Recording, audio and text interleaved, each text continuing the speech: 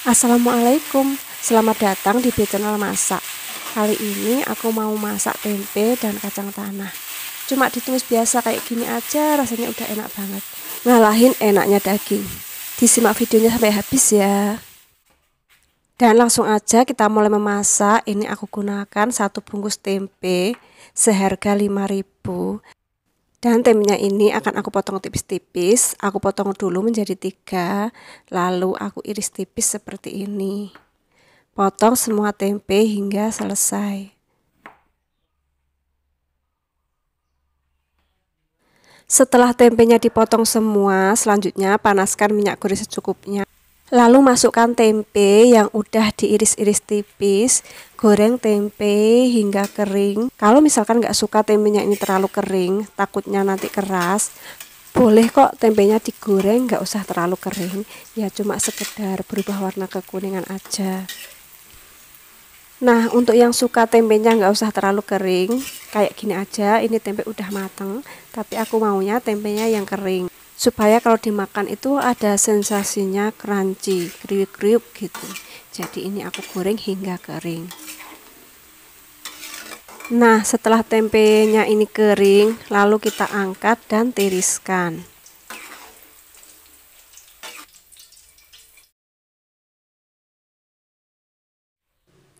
Selanjutnya, sisa minyaknya ini aku pakai menggoreng kacang tanah dan ini aku gunakan 100 gram kacang tanah atau sekitar 1 on dan ini kacang tanahnya juga udah matang lalu kita angkat dan tiriskan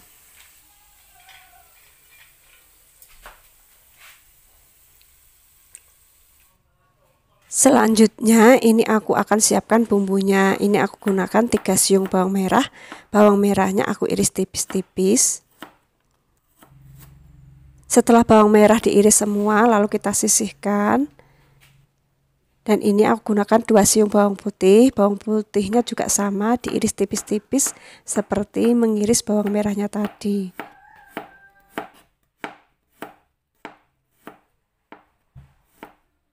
Setelah bawang putihnya diiris semua, lalu kita sisihkan, kita campur ke bawang merah nggak apa-apa.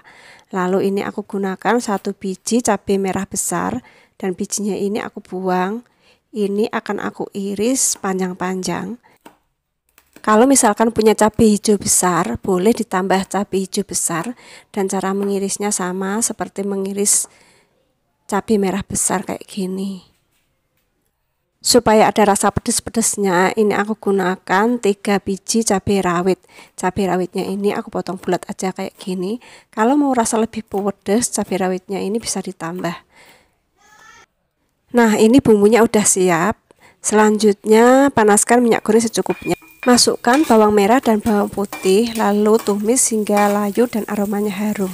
Dan minyaknya ini tadi aku menggunakan minyak bekas menggoreng kacang tanah. Setelah bawang merah dan bawang putih layu, aroma harumnya juga udah keluar. Selanjutnya masukkan cabenya. Tambahkan 2 lembar daun salam dan 2 cm lengkuas yang udah dikeprek. Tumis kembali hingga cabenya layu. Setelah cabenya layu, tambahkan 100 ml air. Tambahkan 1 sendok makan gula jawa. Setengah sendok teh merica bubuk, setengah sendok teh garam, setengah sendok teh kaldu bubuk. Kalau suka boleh tambah micin. Digosreng-gosreng sebentar. Kalau nggak ada gula jawa, boleh diganti kecap manis. Setelah mendidih, jangan lupa untuk dikoreksi rasa ya. Kurang apa-apa boleh ditambah. Kalau untuk aku ini sih rasanya udah pas. Manisnya, gurihnya, pedesnya udah pas. Selanjutnya masukkan tempe yang udah digoreng tadi. Masukkan juga kacang tanahnya. Lalu aduk dan masak hingga airnya menyusut. Sebelum dilanjut videonya, jangan lupa untuk subscribe, like, komen, dan share.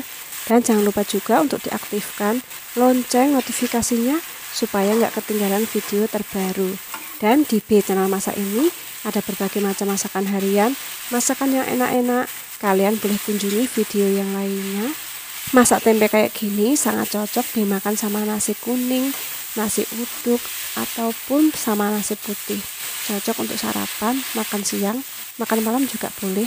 Setelah semuanya tercampur merata dan airnya udah habis, ini udah matang, lalu matikan apinya. Siapkan piring saji, lalu tuang tumis tempe dan kacang tanah ini ke atas piring saji. Dari aromanya ini enak banget. Kalian boleh cobain resep ini di rumah. Semoga resep di video ini bermanfaat. Terima kasih telah menonton. Selamat mencoba. Semoga suka. Wassalamualaikum.